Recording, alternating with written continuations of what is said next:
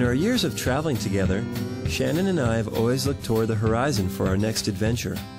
We figured the further you went, the more bizarre it would get. And for the most part, we were right about that. But when your eyes are always set in the distance, you tend to lose sight of what's in front of you. Or should I say, next door. The Baja Peninsula, a rite of passage for the San Diegans that we are, has largely eluded us.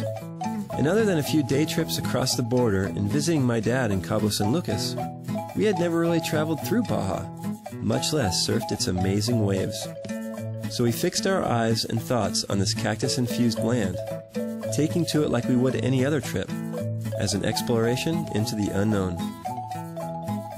Joining Shannon Banyan and I on our Mexican adventure were our friends from Hawaii, Kahana Kalama, Kanoa Chung, and Janelle Timmons. And in just 20 minutes, we were across the border.